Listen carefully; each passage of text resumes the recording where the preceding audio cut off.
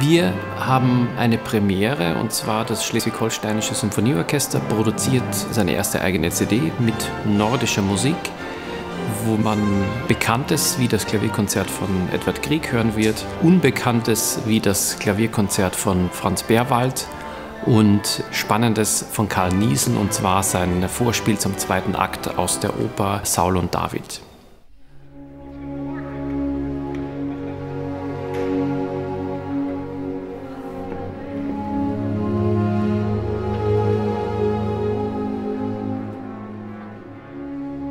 Wir haben zu Beginn der letzten Spielzeit mit Anna-Maria Markowina, unserer Solistin, dieses Krieg-Klavier-Konzert zusammen im Symphoniekonzert gespielt. Es war eine fantastische Zusammenarbeit mit Peter Sommerer und mit dem Orchester. Und weil das so erfüllend war und so beglückend und auch so ein schöner Erfolg, habe ich meinen Verleger angerufen, Herrn Günther Hensler, und habe ihm diesen Vorschlag gemacht. Und er war sofort begeistert und hat gesagt, oh ja, das würde er gerne machen. Also er würde das gerne rausbringen.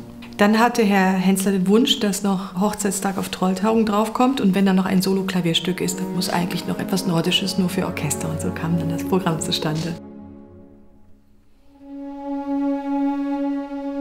Wie sich das eben manchmal zufällig ergibt, hat sich eben hier auch der richtige Aufnahmeort ergeben, dass wir hier im schönen Alsion in Sonneberg aufnehmen dürfen.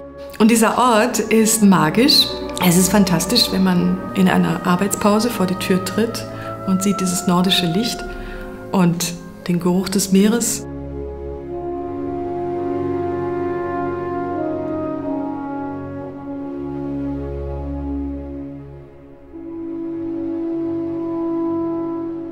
Man will es nicht glauben, aber es gibt in letzter Zeit nicht so viele Aufnahmen vom Grieg-Konzert. Grieg ist hochromantisch, also er kommt ein bisschen spät sozusagen, aber ich finde, dass er den romantischen Gedanken auf die Spitze getrieben hat, im positiven Sinne.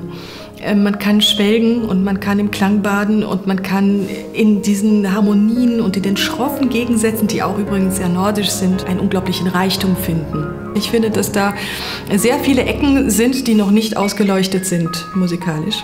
Und das haben wir jetzt gemacht. Wir hatten die Gelegenheit dazu. Das ist toll, das ist inspirierend.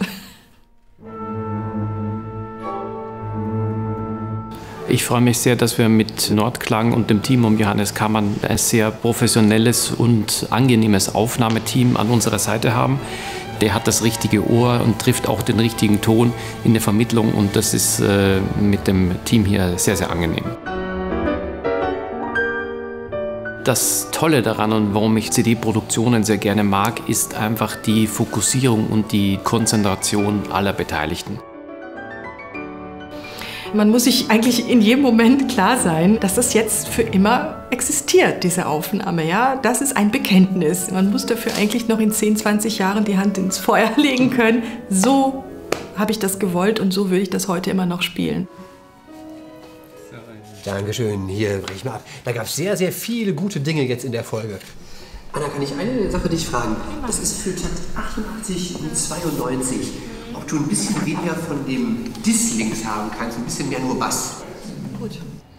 Gleiche Stelle?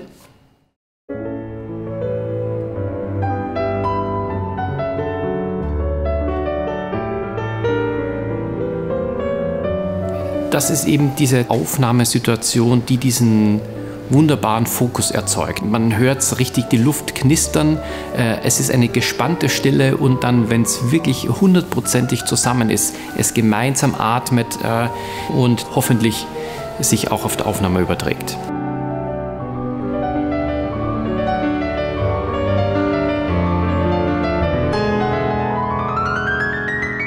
Das Kriegkonzert ist weitaus wirkungsvoller und dankbarer das Bärwaldkonzert ist eine Herausforderung. Erstens musikalisch schön, hübsch, interessant. Technisch äh, tricky.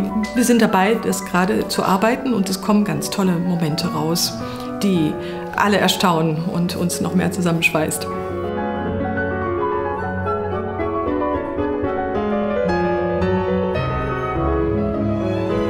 Mit den Musikern ist es hervorragend zu arbeiten. Alle sitzen auf der Stuhlkante, alle sind konzentriert.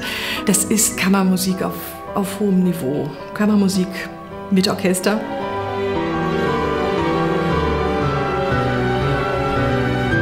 Naja, das ist ja das, was das Musikerherz eigentlich erfreut, wenn man auf diese Weise gefordert ist und vor allen Dingen, wenn man gleich denkt und gleich hört und das Gleiche will. Und ich halte Peter Sommerer für einen fantastischen Dirigenten. Ihm fällt immer was ein, er lässt nie nach in der Spannung und er holt aus diesen musikalischen Ecken immer raus, was rauszuholen ist. Das heißt, ihm fällt jede Bindung auf und natürlich die Stimme von außen, der Tonmeister ganz großartig, ja, Johannes kann man mit Kollegen. Wir wollen das, ja, man, man will es noch besser machen gerade wenn es sehr diffizile Übergänge gibt. Und das ist auch das Tolle an der Musik, dass es zum Teil unaussprechlich ist. Führen, geführt werden, führen zu lassen, das ist eben keine, keine, keine Einbahnangelegenheit, sondern es ist eine sehr rege Wechselwirkung. Und es ist auch ein tolles Gefühl, wenn man daher einen Partner hat, wo man gleich schwingt sozusagen und durch die Musik fließt.